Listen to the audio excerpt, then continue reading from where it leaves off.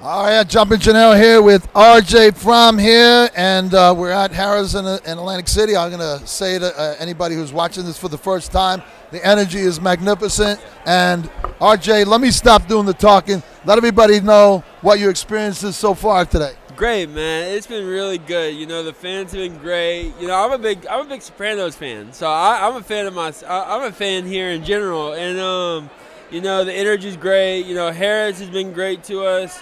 I'm very lucky to be here with some of my other co-stars.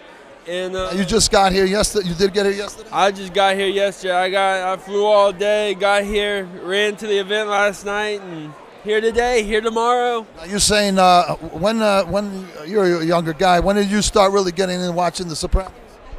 Oh, when I was a small child, single digits. Now, so my, my father was a big Sopranos. My mom, everyone in my family watched The Sopranos, and you know, like the type of gangster mob type of movies, and, and you know, we are. I'm a I'm a big I'm a big type fan of that genre. You know? Well, I'm going to say this to you. For me, it's not about being mobsters and mafia yeah. guy. It's about respect. Well, so there's family. A, it's all about family. Family and yeah. respect, and that's what people identify with. Yeah. And people need to be disciplined that get out of line.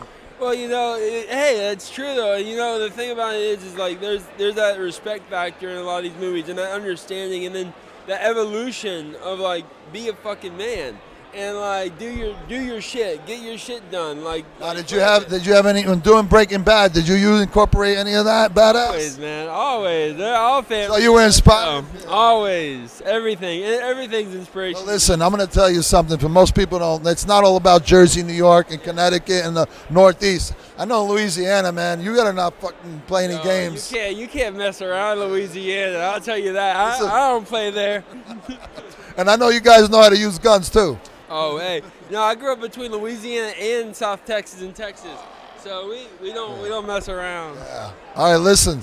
Uh, it's a pleasure talking to you. We're going to see you throughout the night, and you come see us anytime. You're you're part of our family. Everybody becomes part of our family. Now you're not going to get away without doing an atzo. An atzo is the way we celebrate, show excitement. On the count of three in Italian. Uno, due, tre, atzo. All right, brother. Nice talking to you.